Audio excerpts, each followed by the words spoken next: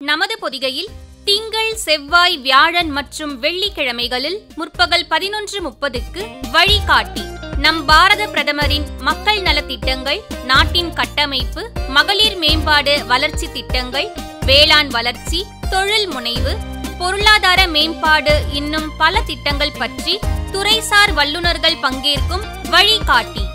இதன் மறு ஒலிபரப்பு இரவு பதினொன்று முப்பது மணிக்கு. பொதிகையுடன் இணைந்திருங்கள்.